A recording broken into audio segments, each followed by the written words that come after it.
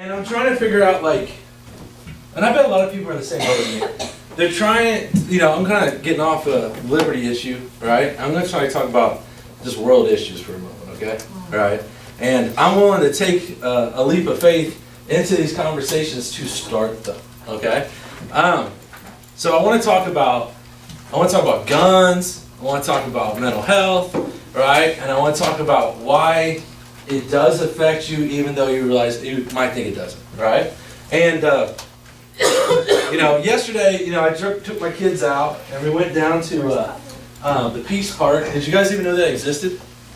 All right, that monument that I took in front of. You guys see my Instagram, my Facebook? All right, now you guys did anything. Yeah, you guys see it. Yeah. Some of you guys liked it. You see what I'm talking about? Did you guys know that existed? All right. So there's this uh, famous monument in Indianapolis. It's actually very famous, and it has uh, Martin Luther King, and he's reaching out to uh, Robert Kennedy. You guys know who Robert Kennedy is? Not JFK. Robert Kennedy. All right. So, do, are we at the place where we love our guns more than our kids? Right? And I'm gonna tell you straight up, I got guns. I got a lot of guns. Right? But like, what is that? You know, is it just like why are people walking into a school and shooting people? Like this matters. This matters to all of us. Okay? Why is that happening?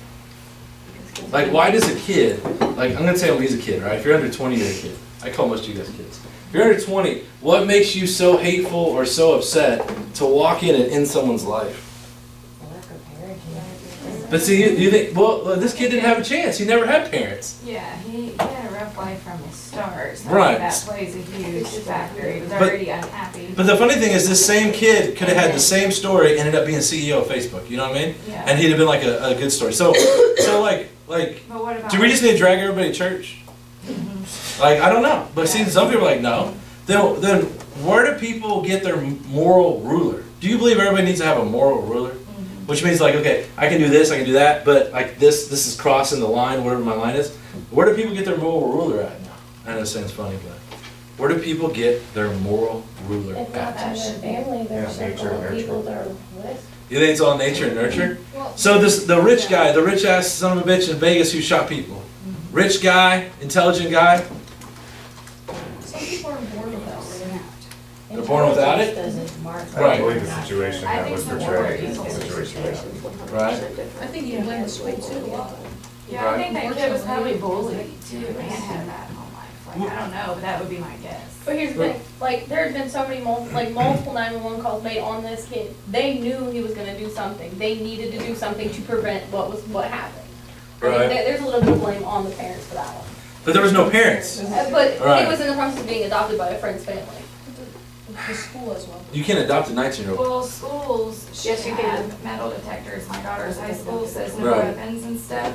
I carry a gun. I've actually accidentally walked in with it in my purse just Right, but the thinking. guy busted in and just So, started like- shooting people. Like I the metal detector wasn't going to stop him. Well, Franklin said- Right, but it would at least alerted Same somebody if they have, like, Franklin Central has cops there, so like, why Yeah. isn't there metal Right, but but like, but I don't see. I think we're looking at. Here's what I'm not trying to do.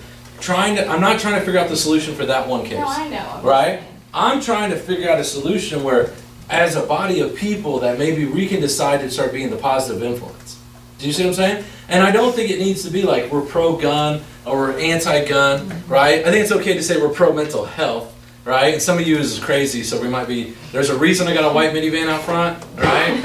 I got a straight jacket coming. We'll be taking some of you guys to the place, right? But like, what can we do as a people? Like, what can we do as a people? Because one thing I really think right? At the end of the day, it's simply communication, right? Like I think you guys have seen, like when you don't communicate with me, right? I go ballistic. I'm not gonna do anything bad, but to me, it's like, did the kid have a friend? Do you know what I mean? Did and even if he did, did he feel like he had a friend? Do you know what I mean? Right? To me, most people, right, are are sit sometimes in their own little world in their head, and they think like things are really bad. I know some of you guys right now have problems that if you brought them to me, I would laugh about. You know why? Because I've been there. Right? And I was so scared. You remember like in, your kids come home from third or fourth grade and they're like, you know, Bobby don't like me and they're like, this is the end of the world, like one of my daughters. I'm like, who gives a shit about Bobby? Right? I mean, I'm gonna go find his dad smack you know what I mean? Like like that doesn't matter, but you guys know what I'm saying? You guys remember that? These third or fourth grade problems you thought were matter? It's the same thing now on a different level. Right? Some of you guys have problems that I think are, are, are kind of funny. like some of you guys right now might need like like 200 bucks would be a life changing thing right now to you guys, right? And I think that the only way for us to recognize what people's problems are, right, are to sit down and start communicating with each other. So, you know, here's what I just want to go with. What my advice on this would be is make sure you're reaching out. You know what I mean? Like, I'm not saying, ladies, you always got to text back the boy at 2 a.m., right? You leave him hanging, right? But, and guys, you don't have to text back the thirsties, you know what I'm saying? When you put one of your big checks, and then all of a sudden all them girls start liking you. I've seen it happen too, right? But I'm saying, like, sometimes you just, like, do you guys ever just go through your phone and just communicate with some people that maybe you haven't for a while? See how things are going? Right? How many times do you guys scroll through your Facebook? And I can't stand people, by the way, who put their business on Facebook. But sometimes, like, people on Facebook, right, will put their problems on there. Do you guys realize what the real thing It doesn't matter what it says, but they put their problem on there. Do you realize what they're actually doing? Attention. They're screaming for attention, right? Now, I know it gets annoying sometimes. Like, like, oh, that girl, she always be wanting attention, right? And you just scroll right past it, right? But sometimes, right, you need to be the one to pick up the phone, right? Not comment on the Facebook. You need to be the one to pick up the phone and like reach out to that person direct, right? Even if it's going to be a semi-painful experience for you, like you know, once you open this barn door, that that person's going to text you three hundred thousand times, right? Do we all avoid that? Do we all know what I'm talking about? But isn't that pain of going through that better than what could have happened? Right? Because I do really feel that everything leads to something else. Maybe that person who's just wanting attention, right? They need it. They do need it. If you want attention, it's because your body physically needs it, right? Us going through the pain of giving them a little attention might keep her from actually triggering somebody else. Do you see what I mean? Who might trigger somebody else, who might trigger somebody else, who's all of a sudden shooting people for no reason. Like to me, there's no valid reason, right, for somebody to do something evil like that ever.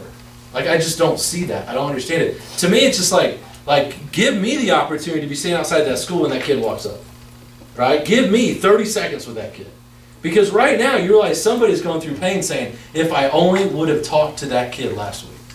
Do you see what I'm saying? Right? And that's true for everybody.